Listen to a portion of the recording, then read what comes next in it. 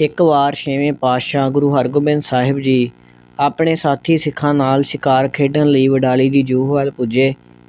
ਵਡਾਲੀ ਵਿਖੇ ਸਾਰਿਆਂ ਨੇ ਗੁਰੂ ਪਾਤਸ਼ਾਹ ਦੇ ਦਰਸ਼ਨ ਕੀਤੇ ਅਤੇ ਮਹਾਰਾਜ ਦੇ ਬਚਪਨ ਦੀਆਂ ਗੱਲਾਂ ਕਰਨ ਲੱਗੇ।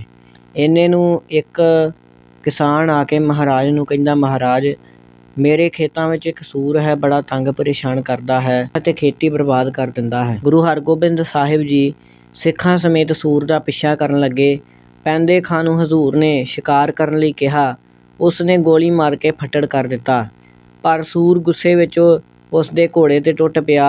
ਇਹ ਵੇਖ ਕੇ ਸਤਿਗੁਰੂ ਜੀ ਨੇ ਇੱਕ ਭਰਵੀਂ ਤਲਵਾਰ ਦੇ ਵਾਰ ਨਾਲ ਉਸਨੂੰ ਮੁਕਤ ਕਰ ਦਿੱਤਾ। ਉਸ ਦੀ ਰੂਹ ਸਾਹਮਣੇ ਆ ਕੇ ਖੜ੍ਹੀ ਹੋ ਗਈ।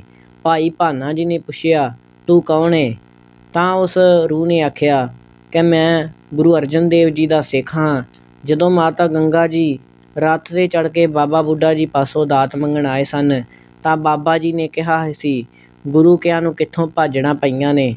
ਤਾਂ ਮੈਂ ਉਹਨਾਂ ਵੱਲ ਤੱਕ ਕੇ ਬੁੜ-ਬੁੜ ਕਰਨ ਲੱਗ ਪਿਆ ਸਾਂ। ਤਾਂ ਬਾਬਾ ਬੁੱਢਾ ਜੀ ਨੇ ਆਖਿਆ ਸੀ ਕਿ ਕਿਉਂ ਸੂਰ ਵਾਂਗ ਸੂਕਰ ਰਿਹਾ ਹੈਂ। ਬਸ ਫਿਰ ਕੁਝ ਸਮੇਂ ਬਾਅਦ ਮੇਰੀ ਮ੍ਰਿਤੂ ਹੋ ਗਈ, ਮੇਰੀ ਮੌਤ ਹੋ ਗਈ ਅਤੇ ਮੈਂ ਸੂਰ ਦੀ ਜੂਨ ਵਿੱਚ ਪੈ ਗਿਆ। ਬਾਬਾ ਬੁੱਢਾ ਜੀ ਨੇ ਬਚਨ ਕੀਤਾ ਸੀ, ਇਸ ਜੂਨ ਵਿੱਚੋਂ ਮੁਕਤੀ ਤੈਨੂੰ ਛੇਵੇਂ ਪਾਤਸ਼ਾਹੀ ਦਵਾ ਸਕਦੇ ਨੇ। ਤਾਂ ਗੁਰੂ ਹਰਗੋਬਿੰਦ ਸਾਹਿਬ ਜੀ ਨੇ ਉਸ ਨੂੰ ਮੁਕਤੀ ਦੇ ਦਿੱਤੀ ਅਤੇ ਉਸ ਨੂੰ ਮੁਕਤ ਕਰ ਦਿੱਤਾ। ਜਨਮ ਮਰਨ ਦੇ ਗੇੜ ਤੋਂ ਉਸ ਨੂੰ ਮੁਕਤ ਕਰ ਦਿੱਤਾ। ਇਹ ਨਮਸਕਾਰ ਕਰਕੇ ਰੂਹ ਅਲੋਪ ਹੋ ਗਈ। ਵਾਹਿਗੁਰੂ ਜੀ ਕਾ ਖਾਲਸਾ ਵਾਹਿਗੁਰੂ ਜੀ ਕੀ ਫਤਿਹ।